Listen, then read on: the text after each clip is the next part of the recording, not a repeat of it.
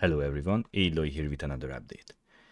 Since the release of Sickle UI, I have been getting a number of feedback and uh, contribution as well, which is great. So thank you very much uh, if you have contributed.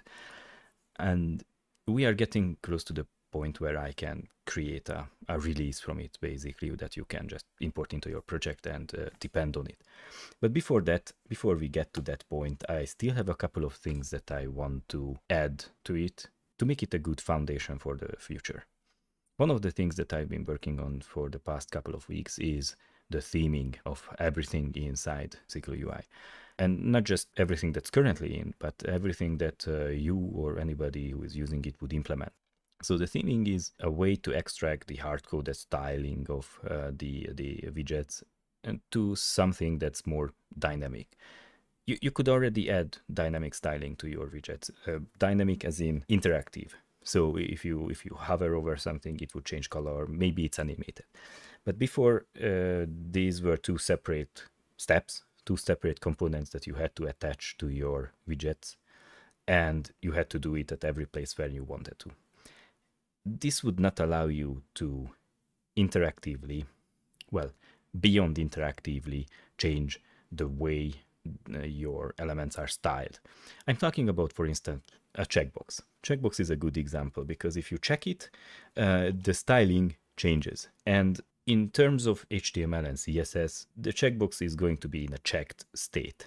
And currently the checkbox just plain enables its checkmark, you know. So it has a system that specifically changes the look of it based on the current value of it which is all right if you uh, don't plan to do anything um, more generic or beyond that, let's say.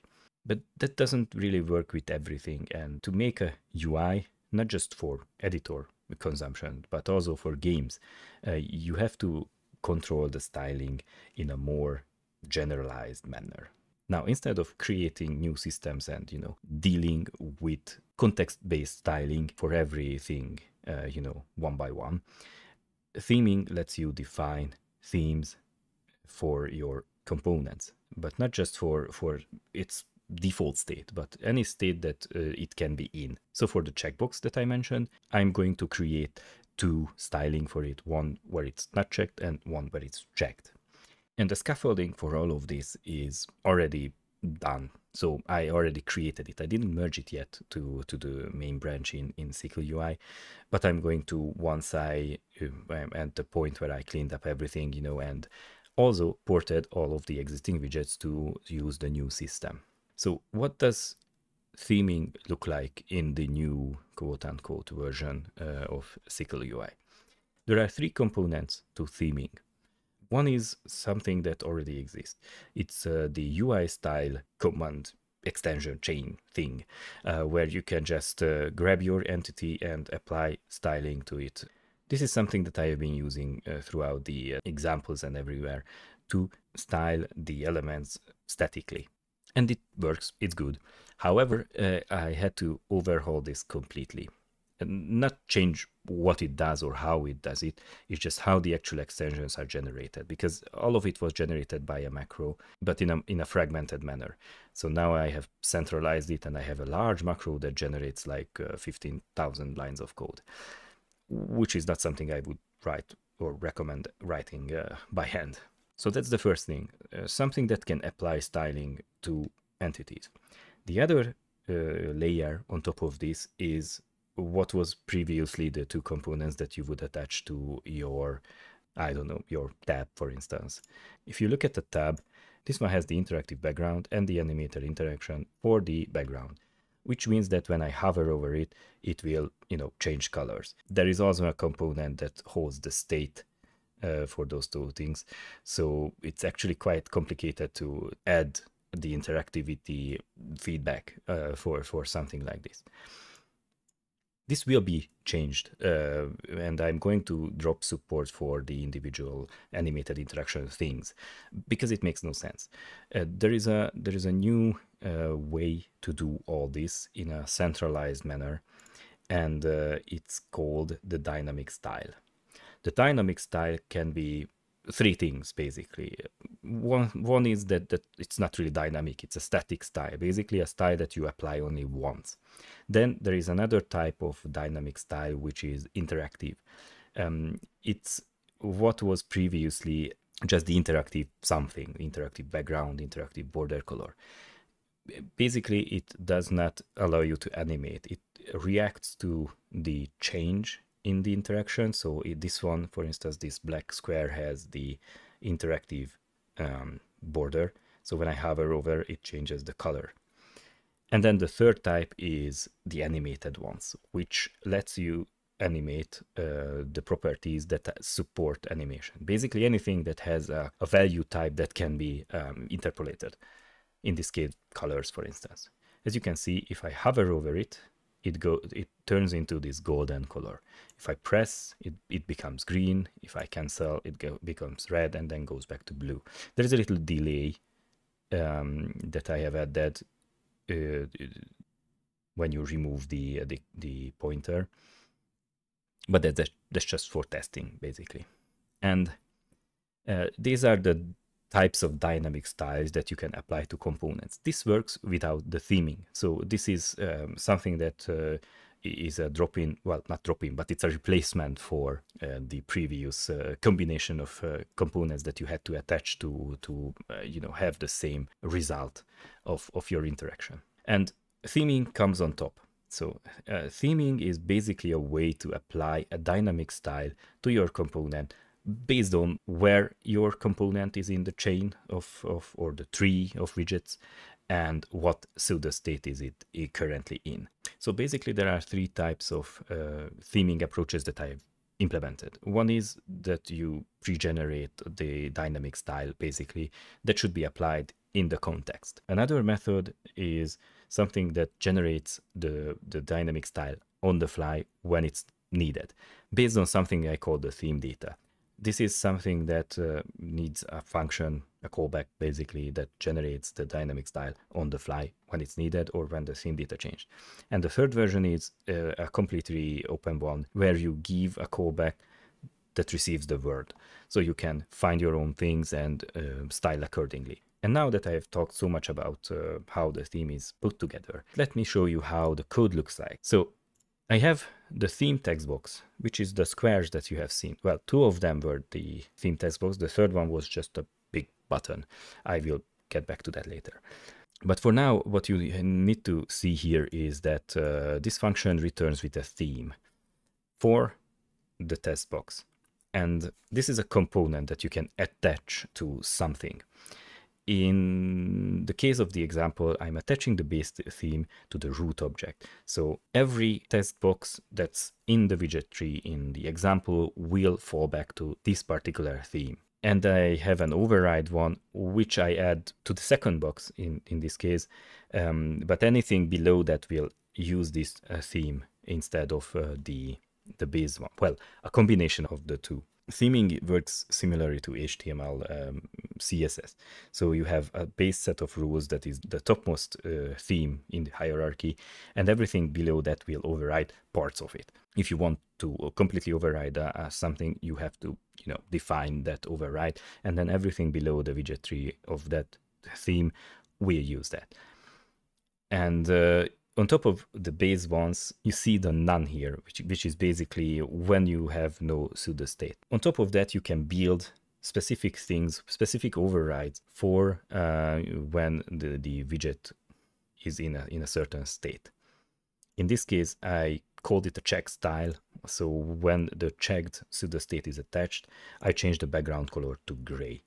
And this will also override the both boxes actually because uh, the theme does not define the pseudo state for that one. So does it, it, it doesn't override the style. It, so the fallback will be used. Anyway uh, you see the two styles here already. So the first one is uh, basically just build uh, build it right now. And uh, this will receive a style builder which is quite similar to the ui style mm, that that existed so far in Sickle UI, in, in the sense that you can call functions on it. So um, border give it a border, it will set the border to that. Uh, background color, width, height. This is pretty simple. But this one, the style builder actually has two more um, extensions. One is the, uh, the, the interactive interactive style builder basically, which lets you build the styling for things that are only interactive uh, but not animated. So this is uh, what half of the things that existed before.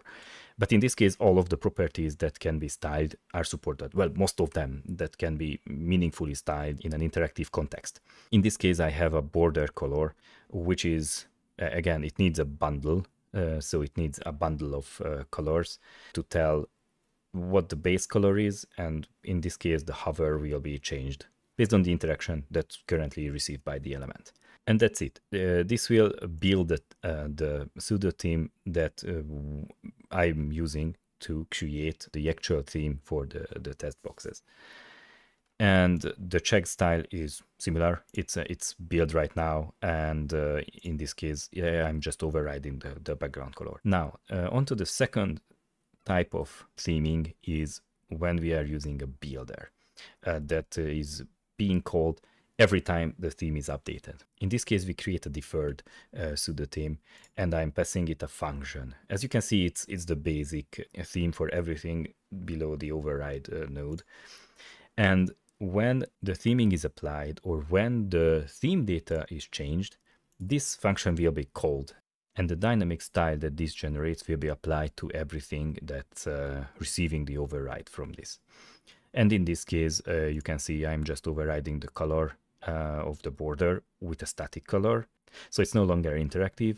And I'm uh, creating an animated background color. And in this case, the base, so the non-interacted color is coming from the theme data. Currently, the, the only thing that the theme data has is the background color, but that's going to change. In any case, uh, we have some static colors here and the base background color. So when the theme data changes uh, uh, and the background color changes, the elements that use this override theme will have a different background color. And you can see the, the animations uh, applied here as well. So that's that. And let's see the, the, the systems that run on those two boxes just to, to see the whole picture. So the first one is uh, the thing that changes the theme data. As you can see, it's a resource. And uh, the only thing we do is change it to blue or crimson based on what the current color is. So it's just toggling between the two uh, colors. And this is a different uh, component. So it's not the text box, it's a toggle and the other system that we have is basically the one that adds the pseudo state when we click on uh, one of those boxes. So if it has one a pseudo state, it will be removed. If it doesn't have one, it will get the checked one. Normally, this is something that you apply based on your um, logic. So checked and not checked is something that a, a checkbox was, would use. Uh, but even the pseudo state has a custom entry. So if it's not something that's predefined, you can define your own, just give it a name. And this goes for everything again. If you want to style something that's currently not stylable, you can give it a callback and do the styling based on that. So if you want to animate a material property, you can do it by adding uh, the custom um, animated one. So the builders support the custom ones actually. So let's have a look at how they are uh, injected into the widget tree. So first of all, we have the root container here, which will have the base theme. And if we go down the widget tree, here is the tab container that we see there, uh, which will spawn one of the boxes. This will be the, the leftmost, the black square. Then we spawn another one with the override theme, and then we spawn the button. This one doesn't have a theming uh, applied. It just has the static theme that will not change normally by itself. And if you look at how it works, so here is the, the black one, which has the base theme. And if I click it, it will change uh, to have a pseudo state. If I click it again, it will not have uh, the pseudo state. And if you look at the second one, uh, it has the uh, the theme, so the override theme, which will change its, its uh, um, colors based on the interaction. And if I click that, as you can see, it now went gray. The reason it's, it's going gray is because we have the pseudo state, uh, which again up here defined a simple background color that is not uh, or no longer animated. But if I click it again, it goes back to the previous uh, theme that it, that, uh, that it had. And if uh, I use this button uh, to change the theme data, the middle box changes uh, the base color of it. This is because we regenerated the, the whole dynamic style when the theme data changed from the click. And if I click it again, it will just go back to the other one. And that's it, basically. That's that's all it has to do. And um, I know it sounds simple and it looks simple, but a lot of considerations has to go into and a lot of code needs to be generated because no way I'm writing this again. Uh, 15, 14, 15,000 lines of code by hand. That's just not uh, feasible. Anyway, I'm going to continue porting all of the existing widgets to use uh, the new approach and I hope to see you next time as well. Until then, have fun. Ciao, ciao.